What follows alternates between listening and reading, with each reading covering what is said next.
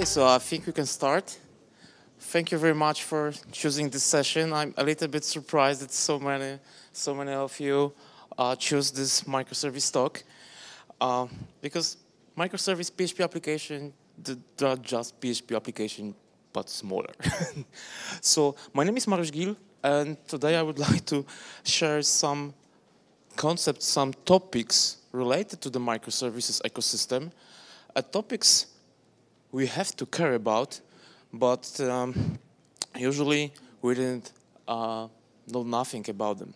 So don't expect uh, implementation details. It's just PHP application is just microservice PHP application is a just standard PHP application, just a little bit smaller, faster, but expect some more concept around the microservices. Topics you need to really, really care about them. So on the daily basis, I'm working in my company, which is a source ministry. It's a PHP consultancy shop. Uh, so I'm working with different teams on legacy software, on architecture, trying to, to, to make our project a little bit better. So I'm also the part, one of the founder of PHPers. PHPers is a Polish network of PHP uh, developers. So all PHP user groups in Poland are working together under this brand. So this is really, really, uh, really, really funny, uh, funny stuff for me to be a part of PHP Rs community. So the story, the standout story about the microservices, I've got a lot of my stories, how we can move or, or, what kind of operations we should apply to make our application better. A couple of years ago, I was working as a CTO in Warsaw on uh, on really, really interesting software. It was PHP application dedicated to generating recommendations over the internet. Um, we had a lot of widgets across most popular websites in Poland. And all the traffic from these popular websites hit our application. And we try to analyze this traffic, try to generate very, very personalized recommendations. What kind of other what kind of other web pages or what kind of other advertisements you should uh, visit, you should click just to earn money. So we started from Symfony application. It was 1.4, very, very old stuff. And uh, in just one week, after the seven days for the first deployment, we hit at 1 million page views. So it was from this traffic was uh, generated by one client. So in every single week, after every single few days, we collected more and more traffic. So after one year, we had a lot of traffic. We had a lot of servers on AWS cloud because this was our, one of our requirement. We had to be very, very scalable. So we introduced a Puppet to our infrastructure. We used the, the AWS API to, to create um, images of our servers. We had some scalers. Of course, some manual works as well. So we had to scale up with our application. But the problem with this software was it was just a monolith. Very, very monolithic application but this application was composed with different um, elements. We had some trackers, uh, we, had, we had some uh, widgets uh, displayed over the internet. We had some processing layer on our application, data storages, panels for users, for admins, a lot of back background processes, and so on and so on and so on. So we had, of course, some uh, developers. We had some administrators working on this monolithic application. And uh, one day we realized, okay, it, it, it's, not, it's not the best situation for us because every single time when we would like to scale up our software, there's only one single way to do this. We had to take our software, all the packages, and just create another set of instances running exactly the same software. For all the components I mentioned, there were only one or maybe two which should be scalable. is it really to be very, very important to have a scalable admin panel? Come on, not really. Is it uh, mandatory to have a scalable user panel? Uh, our user, our business user, clients, it was 2,000 people, maybe.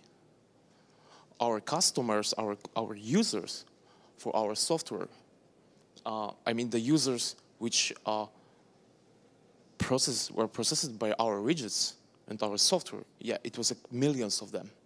So from all the stock, from our applications, only two elements, I mean the, the, the, the, the layer responsible for delivering the recommendations and generating recommendations, yeah, this element should be very, very scalable.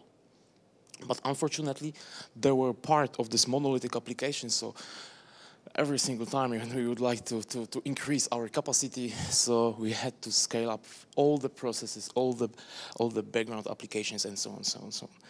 So the problem was, hmm, what was the reason for this problem? I think uh, very, very bad design at the beginning. Because sometimes before we apply a real TDD, we should think, design, and then develop. If we were able to identify, okay, this is a part application which should be very, very scalable, so we should extract the software, this part of the software for the main base, maybe to another uh, repository, another deployment processes, another servers, to make it really, really scalable. And this is a standard story behind the microservices.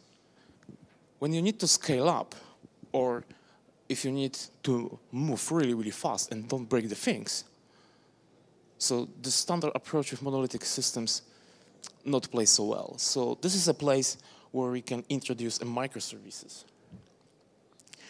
A microservices is not so old stuff. 2014, maybe 2000, beginning of 2014, the microservices term explodes, right? And right now, we had a lot of microservices uh, frameworks, a lot of microservices tokens, the microservices, etc., etc., etc. But the very, very first stage of the microservices explosion was about only and only about the good stuff about the microservices. The microservices will help you. Yes, of course, sometimes. And, um, but sometimes there are also a hidden part of the microservices ecosystem. So let's start from the beginning. What's it's the microservices? What are the microservices?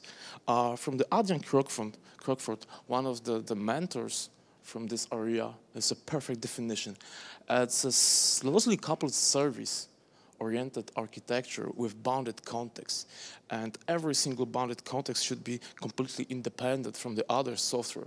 So if you've got this kind of design in your software, you can probably scale up only a few bounded concepts you really need to scale up. So instead of scaling all the system, you can just pick one of them, one of the elements, and scale up.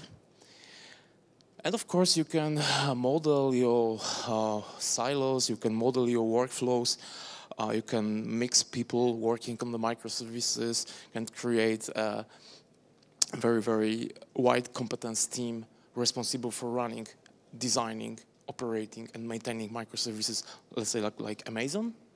Yeah, and then you've got the situation when you uh, have a possibility to, to, to almost unlimited scale up. But the idea of microservices is very, very simple and problematic at the same time. So we've got the, the, the separated part of the software completely, maybe completely independent in the context of the technology from the other elements of the software. At the same time, each microservice may use a dedicated, should use, may uh, sh should use, sorry, should use a dedicated data store with data needed to run this service. So if you've got 10 microservices, it probably means that you've got 10 data stores. Do you see any problem here? Okay, so if this is, let's say, um, a microservice dedicated to serving a user data. Okay, so this is probably SQL database. maybe just one table, just users serving your data. Um, if this is a microservice dedicated to generating recommendations, if you've got the user, you've got the information who is following who. Let's say we are talking about the social network application. A SQL database in this place, maybe not the best solution. Maybe a, a graph database or other NoSQL database will be a, a little bit better. So, but this is a completely different data store. And this is probably another completely different data store. Maybe SQL, maybe not. So the, the benefit from the microservices is you can scale up on the, this element. It's fine. But what about the data? What about the data? If a new user or new data arrive to this microservice, all other elements, all other microservices should be informed, okay, we've got the new data. So it means that at least we should have a layer for data synchronization. Bunch of microservices upon a single shared database, it's a recipe for the failure always. Integration through the database is, is recipe for the failures, no question about it. So what kind of solutions and what kind of patterns we can apply to synchronize at different data stores?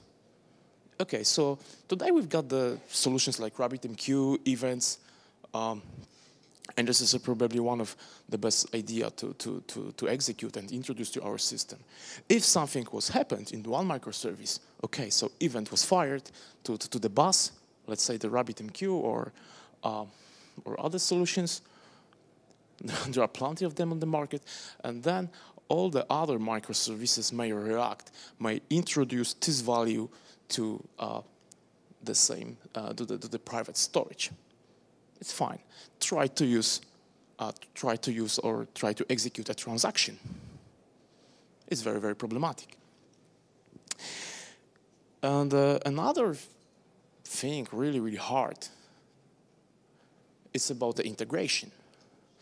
If we've got 100 microservices, and 100 microservices is very, very small number.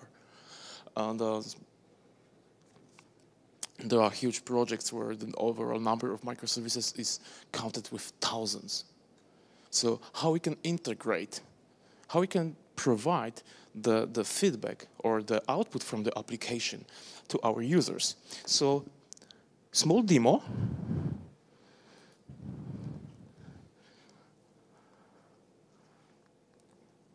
Uh, this is a small PHP application uh, part of the, the, the, production uh, base, but uh, few microservices uh, were collected and composed into small application. This is just a demo. Um, how many microservices do you see or you, you can recognize on this, on this uh, uh, web page? this is a small homepage where there is some randomly taken texts here and here. Um, this is a hard-coded header and this is a current, action, maybe not current, uh, this is the exchange rate from the March from the National Bank of the Poland, current rates for some, uh, for some currencies. How many microservices do you see? Three? Why three? Which, which is third? This, because this is probably the one, this is the second, and the...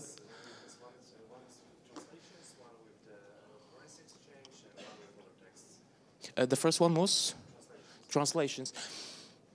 Yeah. Of course, you, do, you don't see the, uh, the, the code, so this is uh, some uh, cheating, but the, there are four microservices here. One for the text, one for the action range. There, there is no translation, but there are two more uh, microservices. And one is responsible for sending information how this page looks like, what kind of other microservices are embedded on this web page. And there's the last one, which is the first behind the web server, responsible for merging all the data, all the HTMLs, sending um, this information uh, to the client. So all, all of them were implemented in uh, PHP with Silex, so Silex small web server, uh, web framework, but one of them is really, really slow, as you see. I re reloaded the page, So it took less than two seconds to, to render the page. So another possible problem, how to identify the issues in the microservices world. If your application is composed from 200 microservices and one is very, very problematic, which one?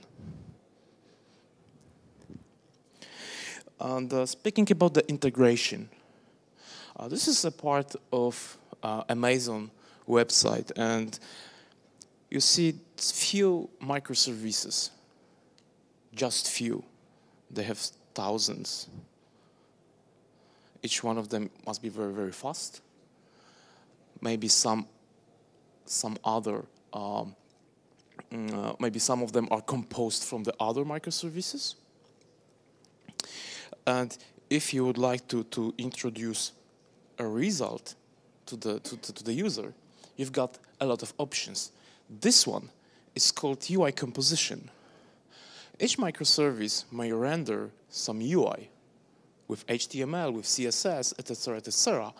And uh, one layer in your application using ESI, SSI, Ajax, iframe, whatever, should compose these UIs into the single web page and then react to the, to send this output to the, um, to the customer. So there are a bunch of solutions you can apply. If you are using ESI, you can use a varnish, which is very, very fancy solutions. You can use Compoxure. Compoxure is a middleware, compo microservice composition middleware for Express, so Node.js, but we can compose uh, microservices generated by the PHP stack. So using this kind of composition for microservices, for example, using Compoxure, you can introduce some modules in your HTML. There are, let's say, this is a part of, this is a first widget, in separated files, of course. Uh, this is a second widget, but this widget should embed another microservice. And this is a path where this microservice is available. So then we've got the whole web page where the other microservices are connected. So every single time where the uh, request hits uh, a web server, web server asks the, the middleware uh, for composition, hey, compose this URL for me, and this application will resolve all the microservices, all the applications behind will be executed, and the output will be uh, collected. And of course, this is very, very, uh, very, very uh, tiny implementation because a Compoxure is very, very complex software. This is only one of possible solutions we can apply. So we can cache output because this is HTTP uh, uh, layer, so we can use headers for caching, etc., etc., etc. So UI composition is just one possible solution. And there is a huge, huge software in Poland uh, which is built around this, this pattern. If you've got a lot of microservices in your ecosystem and you would like to, to expose maybe a, a, more advanced interface for user, okay, so you can apply another pattern called API uh, gateway. You can have a lot of microservices, all the fleet of microservices running different databases, etc., etc., different technologies, and above them, you can expose another service. Every single request to your API will be transformed into series of requests to your uh, microservices and the API uh, gateway will wait for the responses, compose them into the single response and send uh, to the client. So if you are using Amazon there is a software for that on AWS Cloud. If you are using your software, of course, in your infrastructure, you can write the API gateway on your own. You can use, for example, NGINX Plus. So another set of solutions, another set of uh, possible um, tools to use. Or you can use just backend for the front ends if you've got, uh, let's say, a, a rich mm, a single page application running on React or Angular, so you can power your application with just uh, JSON or REST, RESTful uh, microservices. So about the structuring, do you think, is it easy to, to, to split an application between the microservices? What do you think? Is it easy or not? It's really, really hard. Why? Why not? Not easy. Not easy. You've got it right, because if you've got your application separated into the, the, the dedicated and small applications, the microservice, one of the microservices requirement that there is no dependency between the microservices. If there is no dependency between microservices, it means that you should be able to deploy them in the random order. If there is a specific order in your application and there is a specific order in your deployment processes, why this software was divided in this way. Probably it will be much, much easier to combine everything in the monolithic application. And believe me, sometimes it's much better to have a monolithic application because there is no such thing like bad Microsoft, uh, bad, monolith. Why? Because uh, why the monolith are not so bad? Because you've got everything in single single application. You can use memory to share your data. Uh, the problem with the monolith is that monoliths are usually very, very bad design. Even if your application is very, very complex, even if your application has a lot of different bounded contexts, you can use a little a lot of different techniques like domain-driven design or bounded context to split to split your uh, software into the modules, organize your code base into the modules where every single module is communicating with other modules via the memory, via the, the RabbitMQ or whatever. But you've got the single code base easy to deploy, easy to manage. But if you decide to split your application into the, into the microservices, you need to care at least for the tooling, configuration, service discovery, etc., etc., etc. If you know at least one tool you can use for every single topic, yeah, I think you can then you can then you are ready to to to start um, a microservice development. If not, you will probably stuck with some problems. Not now, but later. And uh, let me show you an example. If you've got, let's say, hmm, bunch of microservices uh, responsible for, let's say, for media transcoding, where they are located. If you are using the cloud, uh, where are your microservices, where they are located, how your application may touch your microservices. If you, if you start up, let's say, 20 more instances for this service, how the application uh, should get them. So service discovery, or maybe some, some configuration management. So unfortunately, for every single box, there are a bunch of solutions, a bunch of techniques, usually tools, uh, which will be very, very helpful to run your microservice cluster. And, uh, and every single box is needed to run a, a professional grade application.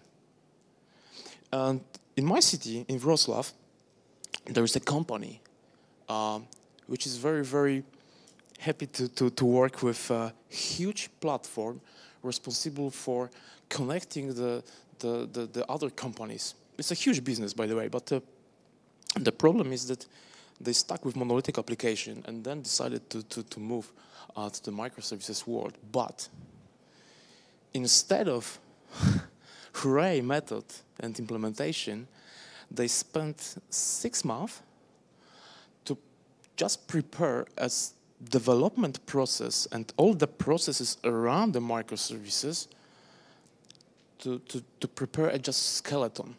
They spent so much time on the deployment processes, monitoring processing, de designing a, a, best possible way how the microservices should be implemented in this company.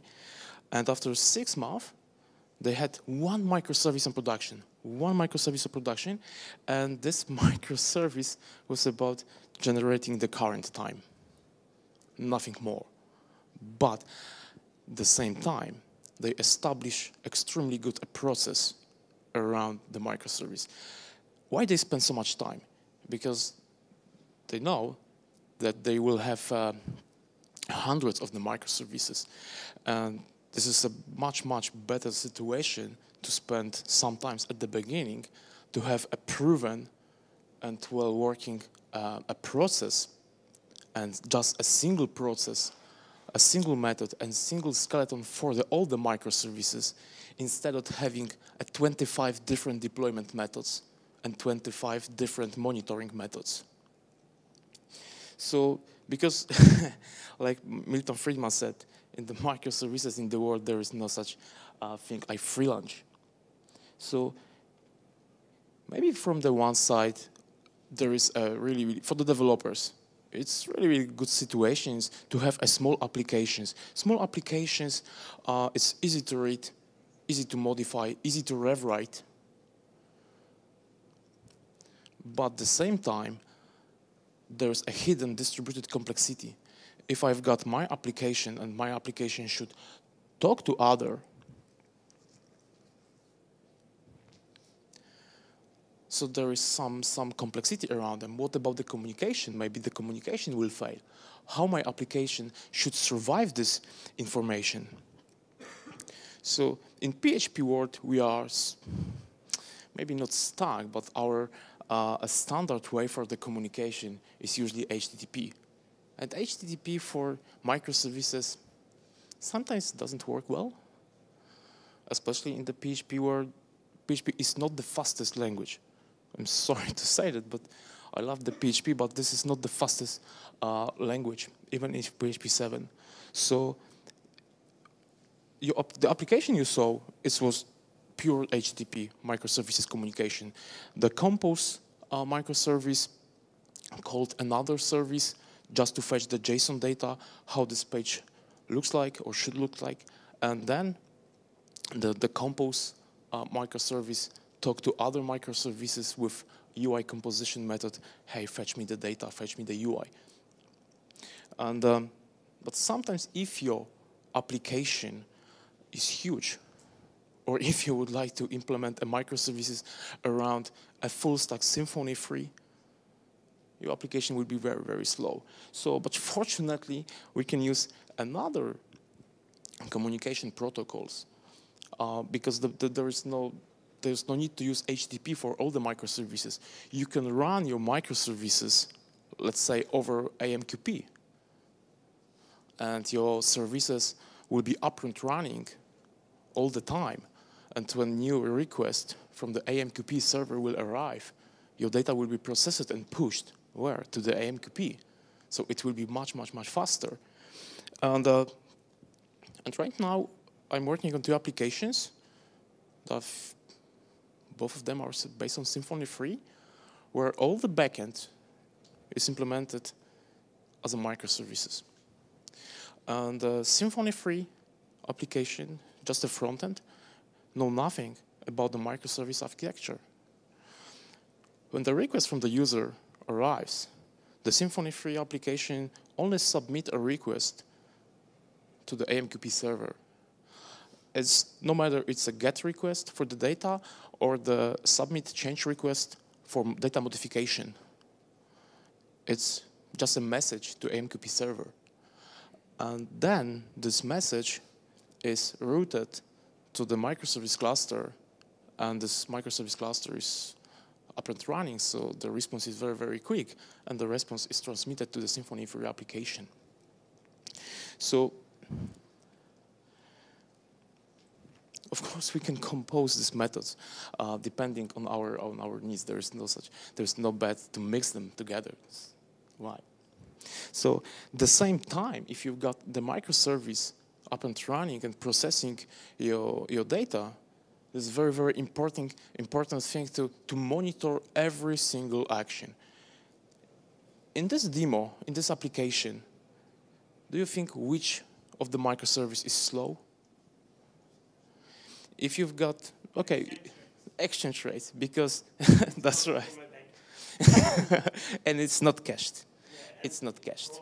prob- Probably bank is using Fox.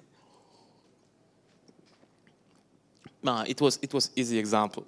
If you've got 200 microservices, it's not so easy to identify the, the, the, the issue. But if you've got a good monitoring, I mean good monitoring, it means that you are monitoring every single microservice in the context, how much time you need to, to process the data. What is, if you are using uh, HTTP um, uh, microservices, what are the number of HTTP responses? And uh, the same time, during the talk, this application is a little bit heated in the background. And this data are generated on the fly on, on my laptop. Every single microservice, a compose, text content, uh, page layout, and uh, the exchange rates is monitored under the time execution and the response uh, code for the HTTP. All this data are collected and inserted into InfluxDB and presented in Grafana. So try to imagine that you've got 250 microservices and your application is slow. So if your if your production is slow, there is no time for looking uh, for the for the issue. Um, you should be automatically alerted which the microservice is very very slow to react. So let's change small.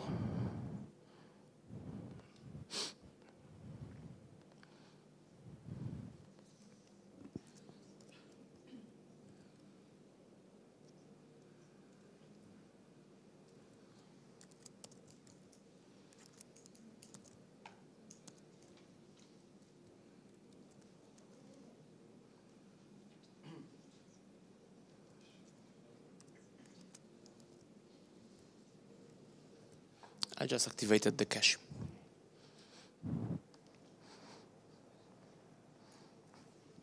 Application should respond a little bit faster.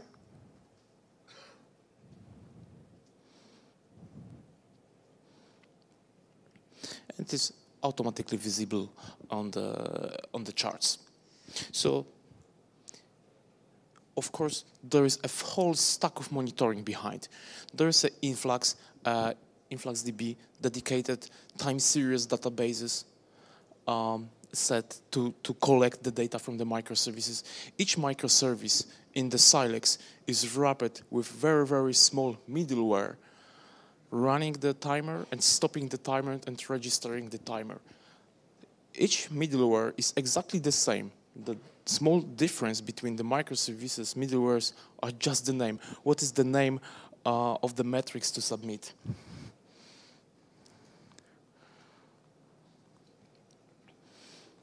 Yeah. If you've got a bunch of the microservices, it's really, really important to get know what's happened.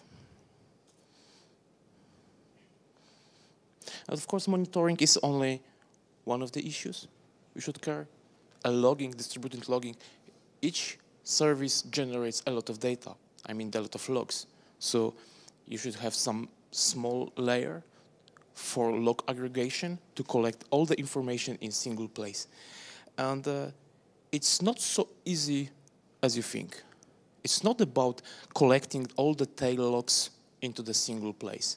If you've got the request to your application and then this request explodes to other microservices and maybe this microservice um, will hit another microservice.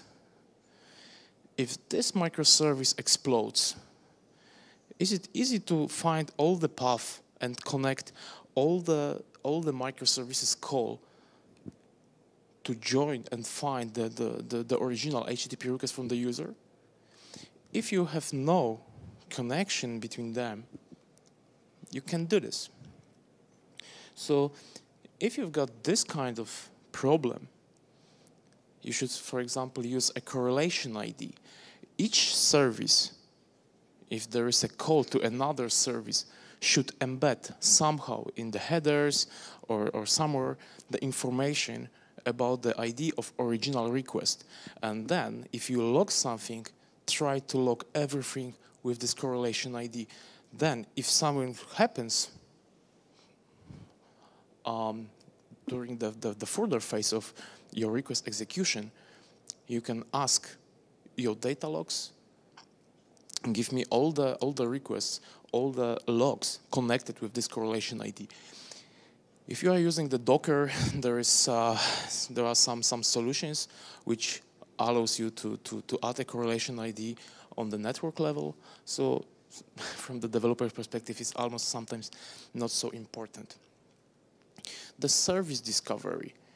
Um, if you are familiar with Apache Zookeeper or Consul.io, the software you can use to orchestrate your microservices into the some, some, some catalogs when your application, when your microservice uh, is up and running, this application may register itself to the, to the catalog and then your whole other elements in your application may ask the catalog, hey, give me the service code, let's say a Redis or MySQL. And then you can uh, split this information around the, um, about the, around the, the, the, whole database. So the most problematic part, the most problematic part uh, from the from the microservice world are the data stores. You remember this this initial uh, charts when all the microservices have separated databases. If we are working on the monolithic application, it usually means that we've got a single data store, usually. A huge, huge MySQL database, when we can create a transaction, we can create uh, a, a lot of joins to fetch a data. This model is called a strong consistency. If you've got a dedicated different data stores and you've got some layers to communicate them, for example, with events, there is no strong consistent model. Your model is called eventually consistent. Your data will be inconsistent in future, maybe in next 10 milliseconds, but right now your data stores are inconsistent state. Because, let's say this way, uh, a SQL database was changed, your microservice published the events. The events is somewhere into the messaging layer, but this event wasn't prepared, wasn't processed by another microservice, so your data are inconsistent. Um, it also means that sometimes you should care how you design your services. There is no such thing like transaction on the microservices because there, there are different data stores. So sometimes you should um, model your services in different ways. So the general way how to model microservices is each microservice should be built upon the business, not technical uh, capabilities. So you need to know how your business works really, really good to identify a transaction boundaries and you can use these transaction boundaries to, to avoid some eventual consistency issues.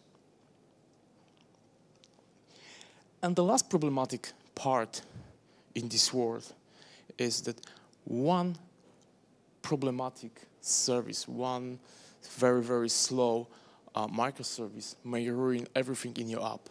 If your application is, uh, is using asynchronous calls, like this demo, one slow microservice ruin performance of your applications. So sometimes you should care about the circuit breakers. If your part of your application, one or maybe more microservices are not working well, your application should be ready to cut them automatically for some time.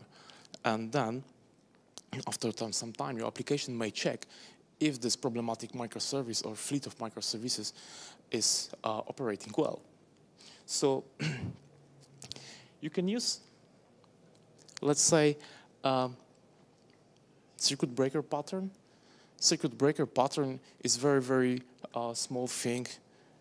After every single success call, you can notify uh, a circuit breaker that this service is up and running. After the failed call, you can inform there was an error. And depending, what, depending on the threshold on the service, your, your circuit breaker may allow or block call to the microservice. Of course, your application should be ready for this kind of operations, and your application should react uh, properly when the service is not so um, uh, performant. So if you are thinking, should I use the microservice or not, because this talk is a little bit about uh, disadvantages on the microservice, start to think, if you really know the elements from the nine boxes. If yes, and your application, your system, and your organization is uh, a matter, and you've got a lot of automatization, automatic deployment, automatic monitoring, etc., etc. Yes, this, in this scenario, you can use the microservice. If not, if you've got a lot of manual work for deployments, if you've got a lot of manual work for the monitoring, try to fix your organization first, and then try to implement a microservice um, architecture. Because in the microservice architecture, if you've got, let's say, 100, 100 uh, microservices and three deployments per day for them, it's not so easy to, to, to, to perform and the manually. So that's everything for me. If you've got some questions, I will be happy to, to, to, to answer. Hmm? If not, so thank you very much. I'll be somewhere here to the end of the day. So thank you.